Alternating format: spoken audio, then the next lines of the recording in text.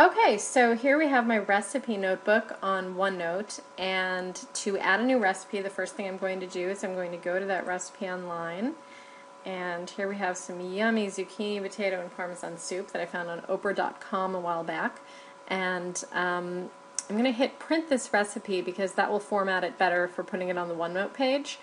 Um, you could just grab it like this, but I don't really need the pictures of Oprah and the ads and all of that stuff. I just want the basic recipe.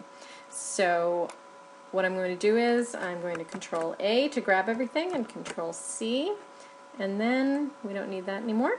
We don't need that anymore.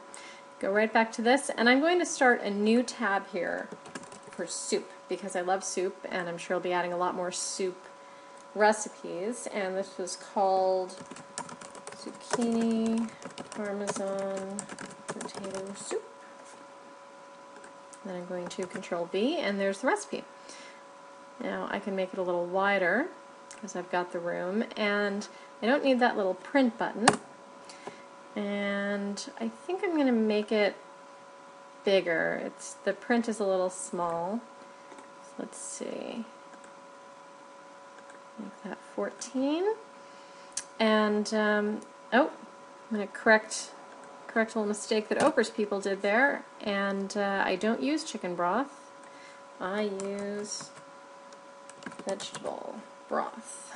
And I think that's it for the notes. Maybe the only other note that I'll put on there, let's move that down a little bit. I'm going to, going to make a note here that the ATS thinks it's not creamy enough. Make that a little bigger. Now that doesn't mean that I'm going to make it more creamy, it means that I'm not going to make this recipe for him. I'll just make it for myself because I thought that it was delicious. So there you go. And that recipe has been added. Super, super quick, super, super easy. And uh, it's just so easy to find things when you do it like this. I've got a bread page and you can make sub pages.